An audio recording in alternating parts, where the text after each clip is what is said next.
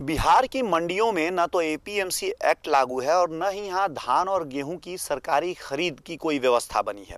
ऐसे में यहाँ के गेहूँ किसानों के लिए अब तक अपनी फ़सल बेचने का एकमात्र विकल्प यही था कि वो किसी ट्रेडर या बिचौलिए के हाथ हो जिस भी भाव पर वो चाहे अपना माल बेचते थे।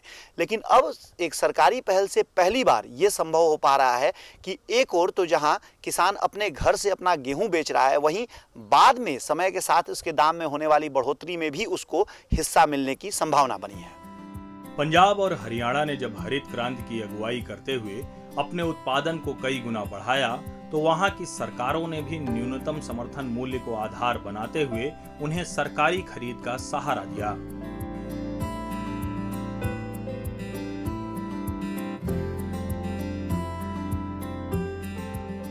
किसान और सरकार की इस जुगलबंदी का नतीजा ये हुआ कि इन दो राज्यों ने पूरे देश की थाली भरने का जिम्मा उठा लिया। लेकिन इससे सुदूर पूर्व में बिहार में हालात एकदम अलग हैं। किसान ने तो फिर भी अपना पसीना बहाकर राज्य को देश के छठे प्रमुख गेहूँ उत्पादक राज्य के तौर पर स्थापित कर दिया। लेकिन सरकार का साथ न मिलने से आज तक कमोबेश किसान अपनी उपज को बेचने के लिए स्थानीय बाजारों, साहूकारों और कारोबारियों के ही भरोसे है।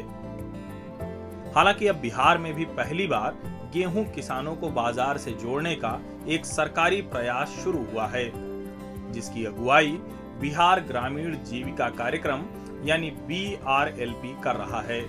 जीविका में गेहूँ का काम पहले से भी हो रहा था, जिसमें हम लोग श्री विधि से गेहूँ की खेती करवा रहे थे, लेकिन लार्ज स्केल पे उनका मार्केट उपलब्ध नहीं करवा पा रहे थे किसानों का। लेकिन इस बार जीविका ने कंपनी के, समर्पण कंपनी के माध्यम से उनके लिए मार्केट की व्यवस्था की है, और वो अपना माल सही दाम पर बेच रहे हैं। अभी जो हम लोगों का जो प्रोक्योरमेंट है वो लगभग में 400 सौ क्रॉस कर गया है और हमें अभी और 100 एमटी के लगभग में खरीदारी करनी है। ये 500 टन की गेहूँ खरीद बिहार के कुल लगभग 42 लाख टन गेहूँ उत्पादन का रत्ती भर ही है। लेकिन इस पहल में सरकार की सीधी भूमिका और रुचि को देखते हुए इसमें कोई शक नहीं कि बिहार के गेहूँ किसानों के लिए आने वाले दिनों में ये मील का पत्थर साबित हो सकता है। फ़िलहाल इस खरीद प्रक्रिया से बिहार के मुजफ्फरपुर में 2000 किसानों के करीब 30 उत्पादक समूहों को जोड़ा गया है, जिनसे जीविका की टीम गाँव में जाकर गेहूँ की खरीद करती है। हम लोग दो प्रकार से प्रोक्योरमेंट करते हैं। एक प्रकार से जो हमारा अगर पीजी से उठाते हैं, हमारा जो गाँव से ही उठाते हैं तो वहाँ बाज़ार समिति के रेट से दस रुपया ज़्यादा देते हैं। और यहाँ पर अगर वो पहुँचा करके देते हैं तो पचास से साठ रुपया ज़्यादा देते हैं। बिहार देश के उन चुनिंदा राज्यों में शामिल है, जहाँ कृषि उत्पाद विपणन समिति यानी एपीएमसी कानून लागू नहीं है। इसलिए जब हम यहाँ मंडी की बात करते हैं तो उसका मतलब केवल एक ऐसी जगह से होता है, जहाँ बड़े व्यापारी किसानों का माल खरीदते हैं। लेकिन ये सारी खरीद बिना किसी सरकारी निगरानी के होती है। न बोलियों में कोई पारदर्शिता होती है और न ही तौल में। ऐसे में किसानों को जीविका की खरीद के फ़ायदे शीशे की तरह साफ़ नज़र आने लगे हैं। पिछला साल मंडी में ले जाना पड़ता था तो आने जाने का खर्च भी लगता था। इस बार इस बार अथी पीजी के माध्यम से हम लोग वज़न करा के रख देते हैं और गाड़ी का भाड़ा भी नहीं लगता है और पीजी और सबसे पीजी से बेचने का ये मुनाफा है। जो, बिचौलिया लोग है जो दो के जी ज़्यादा, चार के जी ज़्यादा ले लेता है पीजी के माध्यम से हम लोग को इलेक्ट्रॉनिक तराजू के माध्यम से एक के जी भी ज़्यादा नहीं लगता है। एक रुपया भी ज़्यादा नहीं लगता है और साथ में हम लोग को दस रुपया कुंटल पर बेनिफिट मिलता है। पिछली बार बेचे थे बेचुलिया के हाथ से तो कम भाव मिला था, कम ले गया वो। एवरी बार पीजी से जब जुड़े हैं, जब पीजी में जब सारा माल आया है तो पंद्रह सौ बीस के मिला है। तो फ़ायदा हुआ इसमें। पहले बेचते थे, तेरह सौ, सवा तेरह के गेहूँ बेचते थे। मंडी में ले जाते थे, लेकिन गाड़ी का खर्चा भी लगता था, आने जाने का खर्चा बहुत लग जाता था। इक्कीस साल किए हैं तो हम लोग के पंद्रह सौ बीस का रेट भी मिला है, और आने जाने का खर्चा भी बच गया है। हम लोग के इसमें बेनिफिट हुआ है, दस रुपये एक बोरा पर एक रेट में भी पैसा मिला है। हमको इस वजह से बहुत हमको लाभ हुआ है। किसानों से खरीदे गए गेहूँ के भंडारण के लिए जीविका ने एक गोदाम भी किराए पर लिया है। जहाँ इलेक्ट्रॉनिक मशीन से उपज की तौल की जाती है।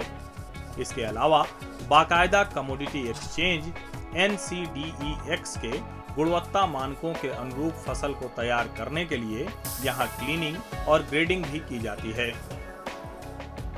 क्योंकि खरीद किए गए गेहूँ को एक्सचेंज के प्लेटफॉर्म से ही बेचे जाने की योजना है। यहाँ तक कि एक्सचेंज के मानकों के अनुरूप उपज को तैयार करने के लिए जीविका भी अपने प्रतिनिधियों के ज़रिए किसानों को क्लीनिंग और ग्रेडिंग जैसी पोस्ट हार्वेस्ट गतिविधियों के लिए प्रशिक्षित कर रही है। अभी हम लोग क्वालिटी स्पेसिफिकेशन के लिए सबसे पहले हम लोग अब विलेज के स्तर पे मतलब गाँव के स्तर पे अपने वीआरपी को पहले ट्रेंड करते हैं। वीआरपी की ट्रेनिंग होने के बाद वो वीआरपी पीजी को ट्रेंड करते हैं पीजी मेंबर्स को ट्रेंड करते हैं पीजी ऑफ़िस बीरर्स को ट्रेंड ट्रेंड करते हैं, ताकि ऐसा माहौल बने कि क्वालिटी के बारे में सब लोग सशक्त हो पाए। तो अभी जो हम लोग की जो क्वालिटी स्पेसिफिकेशन है एनसीडीएक्स के मान्यता के अनुसार, हम लोग नमी की मात्रा 10 से 12 परसेंट लेके चल रहे हैं। जो टूटे हुए दाने होते हैं, उसको 0.5 परसेंट ले रहे हैं। दूसरे फॉरेन मैटर जिसको, दानों के अतिरिक्त जो भी होते हैं, उनको फॉरेन मैटर बोलते हैं, उनको हम लोग ज़ीरो पॉइंट फाइव परसेंट ले रहे हैं। ये हमारी बेसिक जो चीज़ें हैं, वो बेसिक जो क्वालिटी स्पेसिफिकेशन गेहूँ में हम इतना लेकर भी चल रहे हैं। गोडाउन की कैपेसिटी जो है सो 825 एमटी है ठीक है? और यहाँ पे जो है सो पिछले 27 अप्रैल से माल आ रहा है। अभी तक लगभग 125 किसान अपना माल यहाँ जमा कर चुके हैं जिनका जो है गेहूँ का टोटल वज़न जो है सो चार सौ एम है। दरअसल जीविका से जुड़ने के बाद भाव तौल और ट्रांसपोर्ट के अलावा एक और बड़ा फ़ायदा यहाँ के किसानों को हुआ है। वो अनजाने में ही कृषि कमोडिटी एक्सचेंज एन के राष्ट्रीय नेटवर्क के ज़रिए न केवल हेजिंग जैसे इंस्ट्रूमेंट का फ़ायदा उठा रहे हैं, बल्कि उन्हें भंडारण का लाभ उठाकर बाद के महीनों में गेहूँ की बढ़ी कीमतों का लाभ भी मिलने लगा है। प्रोक्योरमेंट स्टार्ट किए थे तो 1470 का था। धीरे धीरे आज का मार्केट में 1650 हो गया। तो इससे पता चल रहा है कि हमारा दिन पे दिन मार्केट भाव बढ़ रहा है।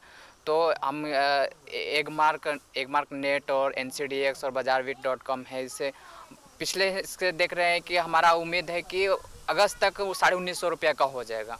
तो इसके द्वारा हम बेचकर जो भी हमें मुनाफा होगा, वो हम मेंबर को लोगों को देंगे और फिर अक्टूबर, नवंबर तक उसको हम पूरी सेल करके फिर भी जो भी प्रॉफिट होगा, वो हम पीजी मेंबर्स को और मेंबर्स को जो भी बिट्टी दे रहे हैं, उनको हम फ़ायदा पहुँचा देंगे। पीजी के साथ काम किए हैं 2000 किसानों के साथ और इसके बाद में इसको हम खरीद कर अपने गोदाम में स्टॉक कर दिए। उसके बाद एनसीडीएक्स के माध्यम से इसको हम बेचेंगे।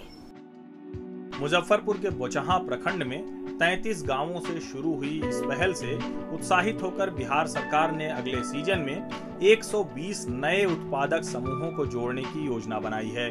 और लक्ष्य है मुजफ्फरपुर से 5000 टन गेहूँ की खरीद का। ज़ाहिर है, केवल एक ज़िले मुजफ्फरपुर से एक सीज़न में 10 गुना ज़्यादा की खरीद की महत्वाकांक्षी योजना अगर अपनी राह पर चल निकली तो बिहार का किसान भी देश के कृषि मानचित्र में समृद्धि का एक नया प्रतीक बनकर उभर सकेगा। हर किसान ये जानता है कि जिस समय वो अपनी फ़सल मंडी में बेच रहा होता है, वो उस साल के लिए उस फ़सल का सबसे कम कीमत का समय होता है। लेकिन उसके पास कोई विकल्प नहीं होता क्योंकि उसकी ये क्षमता नहीं होती कि वो गोदाम में अपना माल रखकर उसका दाम बढ़ने का इंतज़ार कर सके। लेकिन अब जीविका की इस पहल से हर किसान के पास ये ताकत आ गई है कि वो गोदाम में अपना माल रख सकता है और उससे पहले उसे उसकी कीमत भी मिलती है और बाद में जो मुनाफा उस रखे हुए माल पर होने वाला है, वो भी उसे हासिल हो जाएगा। मुजफ्फरपुर से मंडी डॉट कॉम के लिए अनिल वत्स के साथ भुवन भास्कर।